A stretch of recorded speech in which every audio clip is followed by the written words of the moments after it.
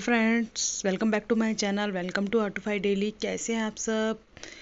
तो आज हम जा रहे हैं मूर्थल तो ये ब्लॉग जो है मेरा पूरा मूर्थल का है, वहाँ पे हमने क्या क्या किया और कब पहुँचे हम, आप सबको, आपको सब पता चलेगा इस वीडियो में तो ये हम करीब निकले थे पाँच बजे करीब, वहाँ से तो दिन का टाइम हो रहा था, और काफ़ी अच्छा वेदर हो रहा था तो हमने सोचा मूर्थल के आज मूर्थल घूमा जाए तो हम पहुँच गए थे करीब वहाँ पर सात आठ बजे पहुँच गए थे जो कि तीन घंटे लगते हैं पूरे एनसीआर से। तो ये जो वहाँ पे काफ़ी रश था क्योंकि ये टूरिस्ट स्पॉट है, बीच में पड़ता है। ये वहाँ से आने के लिए शिमला मनाली के लिए भी, से वापस आने के लिए भी और वहाँ जाने के लिए भी बीच में एक अच्छा स्पॉट है खाने का। पड़ता है, आप सबको पता ही होगा, क्योंकि मूर्थल तो इतनी फ़ेमस जगह है। तो फिर हमने मेन्यू में देखा मेन्यू में तो फिर वहाँ जब मूर्थल तो हम पराठे खाने के लिए गए थे तो पराठे ना खाएँ मूर्थल जाएँ तो ऐसा हो नहीं सकता। तो ये अचार और प्याज और हमने जो है थाली में सिरके वाली प्याज ले ली है और पराठों का हो रहा है वेट। तो ये बड़ा बड़ा मक्खन और ये तंदूरी पराठे जिसे एक एक खा के इतना हैवी इतना अच्छा फील हो रहा था। ये क्या ही बताऊँ इतना अच्छा फील हो रहा था। हमने सब पूरे फैमिली मेंबर्स के लिए मंगाए थे।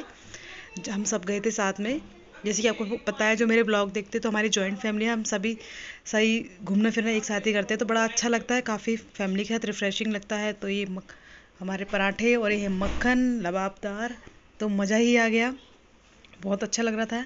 और हमने एक थाली भी ऑर्डर की थी जिसमें था दाल मखनी मिक्स वेज और सैलड और राइस जो दिख रहा है आपको। और वहाँ पे इतना रश था, इतना रश था कि मतलब आप यकीन नहीं मानोगे कि एक जना खाना फिनिश करके उठ रहा है तो उसके साइड में वेट करना पड़ा था कि कब उठे और कब हम अपनी जो है सीट लें।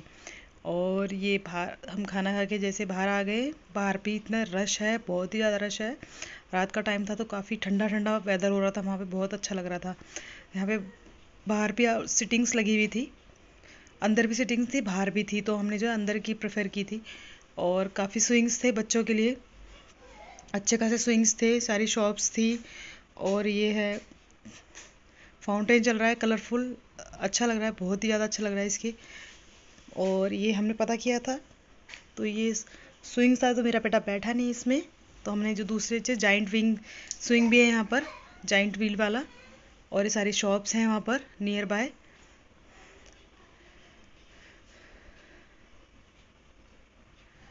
तो ये जो शॉप पड़ रही है, इस पर हमने पता किया था, जो बच्चों की शॉप होती है, वो साइकिल की, जो है प्लास्टिक उसमें मिल रही थी साइकिल की शेप में और कई तरह की वैरायटीज़ में। ये सारे स्विंग्स थे हेलीकॉप्टर वाले। तो इतना अच्छा लगा था काफ़ी जाके स्पेशली पराठे खाने के लिए हम गए थे वहाँ पर। ऐसा कुछ जाने का वो नहीं था कि आगे हमें जाके हिल स्टेशन जाना है। क्योंकि आगे वहाँ जाके शिमला, मनाली के लिए रास्ता पड़ता है ऑन द वे चंडीगढ़ का रास्ता पड़ता है। सब जानते होंगे आप लोग। तो ये सुखदेव का आउटसाइड का है। रात में वहाँ लाइटिंग इतनी अच्छी लगती है, बहुत ही ज़्यादा अच्छी लगती है। मतलब मैं वहाँ गई, वहाँ से गई तो कई बार हूँ, निकली तो कई बार वहाँ से जाना ना तो बहुत बार होता है बट जो है उस उस दिन स्टे किया था वहाँ पर। पराठों के लिए ही। रुके थे हम पराठों के लिए घर से स्पेशल प्लान बना के गए थे।